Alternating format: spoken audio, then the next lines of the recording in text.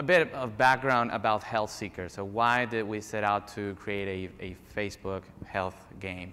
Uh, well, first off, you know, probably all of you at this point, or most of you, are on Facebook, and you're a pretty uh, good representation of what's out there. It's, it's a huge country. If it were a physical space, it would be one of the biggest countries in the world, about more than 500 million active users. Uh, the average Facebook user has about 130 friends. You know, eh, how many people are above this, this level in the audience? You know, so roughly a third of everyone here. More than 30% of users are 45 plus years old, so which is an interesting evolution because Facebook, as some of you may know, started as a college-based uh, social network. But uh, nevertheless, if you start to look at what's happened on the Facebook game space, you know, a very interesting story starts to emerge, which is um, if you take the 10 most popular Facebook games, there's over 200 million monthly active users. So this is actually a huge and fast growing, even faster than Facebook itself, segment within social media and within Facebook itself. And ultimately, and perhaps very surprising for uh, most of you, at least it was for me when I first learned about it, is the average age of a, of a Facebook uh, game player. It's a, about 43 years old, and it's a woman. So it's not your hardcore gamer sitting in a dark room, sort of like a dungeon, not coming out for days at a time and being all smelly. It's, it's, it's a woman, you know, and it's, it's in her, her, middle age, having children, you know, and having a career or not. But uh, that is because we're talking about social games, not games per se as uh, some of uh, us may think about them. So Health Seeker, we, uh, for those of you who care to uh, check it out, I'd love uh, for you to do so. It's at healthseekergame.org. That URL takes you into the Facebook page where you can, you know, start playing the game. We launched it in mid, mid-June, coinciding with the American Diabetes Association conference in uh, Orlando. Uh, as, as, far as I could tell, it, it, was the first sort of like social game taking place uh, on Facebook focused on health. And although we, uh, it, it, it, clearly, you know, having been uh, created content-wise and, and, and uh, um, concept-wise by two diabetes nonprofits, you know, ourselves at the Diabetes Hands Foundation and Joslin Diabetes Center, it has a clear focus and benefit for people who have diabetes, but the overall goal does not, you know, is equally appealing for anyone who um, is seeking to just get healthier. What, what are we seeking to do? To basically make developing and or rediscovering healthy habits something that can be done socially and in a fun way. Since we launched, we have attained approximately uh, 3,400 players as of today. And uh, if you care to follow HealthSeeker on Twitter, that's the handle, HealthSeekerFB. So how does, how does HealthSeeker work? Uh, when you first come to HealthSeeker, you, are, you have four overarching you know, lifestyle goals that you can choose to pursue. Uh, you can either work to get your weight under control. You can uh, seek to better manage your diabetes. You can seek to uh, improve your eating habits, and you can seek to uh, reduce cardiovascular risk. Under each of those umbrellas, and sometimes overlapping those goals, there's a number of missions that you can take on. Uh, all these missions, the concept, and you'll see some screens that Michael will walk us through, uh, all those missions are built by choosing from actions. And a very important concept is that these actions are not like life transforming in themselves. They're not going to make you healthier, the healthiest person tomorrow. They're going to make you, they're going to allow you to take a small step today and tomorrow and then the day after. So small things that you can go back and do in your life and then come back and report on them within the game. Once you complete those uh, actions associated with the game, you move on to the next level or choose a different mission. Feedback we have gotten from some players I'm going to read in case it's not easy to uh, read from the back. Learning about healthy life choices was never so interesting and fun. It's all about the baby steps. One important concept in the game that we were seeking, which may sound as counterintuitive, uh, but, but was instrumental, is that we're not seeking to keep the person attached to Facebook, you know, uh, and you know, they're already doing it anyway. So we're actually trying to provide people with useful, usable, and actionable things that they can do in their lives and report back on the game. Uh, other comments kind of go along the lines of this. Basically, you know, for the first time in actually uh, fun, or other people would say an actually useful uh, Facebook game. Not that Farmville isn't a lot of fun, but uh, certainly, you know, trading cows or cattle uh, doesn't really translate into much in real life. We had the opportunity uh, last month to present at the American Association of Diabetes Educators in, in San Antonio, and uh, these were some of the, the, some of the feedback we got from diabetes educators. These are folks that are directly in the front line working with diabetes patients on a day-to-day -day basis. So for educators who are struggling to help patients integrate behavior change, HealthSeeker will be a great, a great tool. Why? Because people are on Facebook already. I mean, that, and that's one instrumental difference. Uh, you're not necessarily like sending them off to a new place, but rather acknowledging the fact that they spend sometimes an inordinate amount of times on Facebook and trying to present them with something that will make uh, things, uh, will make them hopefully healthier uh, people. So very clever. It's a great that the game gives patients examples of specific behaviors to focus on. They need that. Again, all actions within the missions are very specific, very tangible. Switch from white to wheat bread for a week. Uh, try to choose uh, lower sodium. Uh, you know, if you go and buy peanuts, try to go for the half, uh, you know, 50% uh, salt or unsalted. So very specific things that you can go about and implement. I like how the game involves peer support and even support from a significant other. It's a way for the family to get and stay healthy too.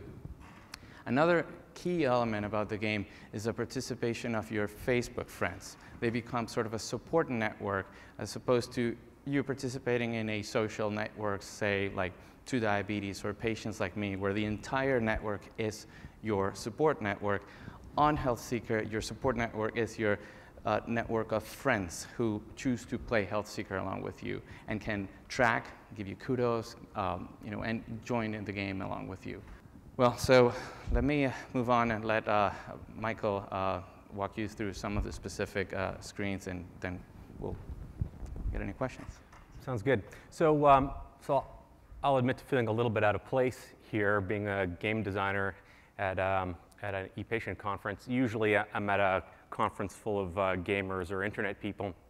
Um, but you could make me feel more comfortable by, by a show of hands. How many people here live in their basement? Nobody? Wow, tough crowd.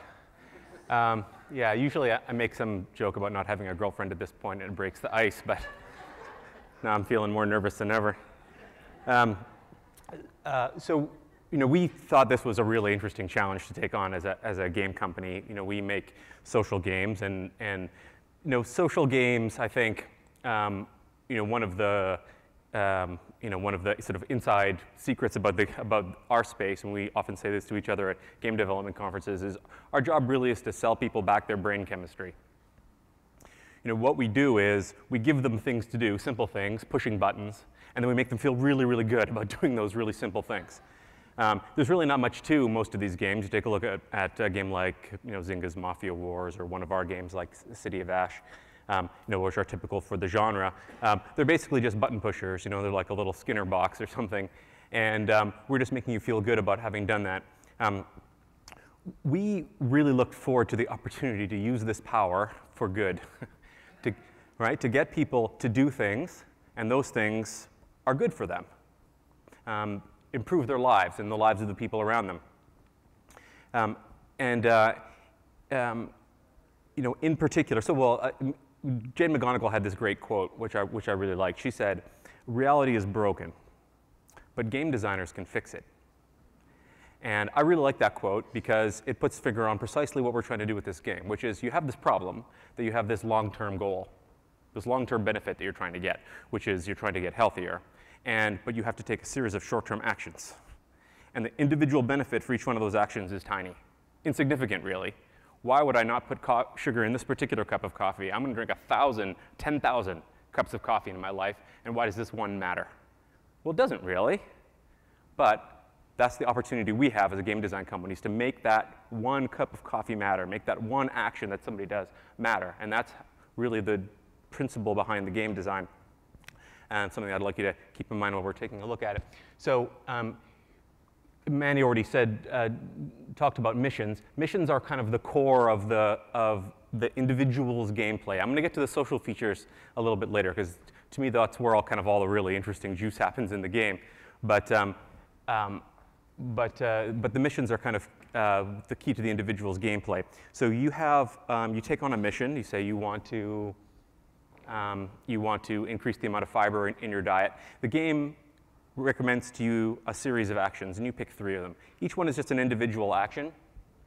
Um, uh, choose, uh, choose a bread that's got three grams of fiber, um, sprinkle nuts on, on, your food. Simple, little things.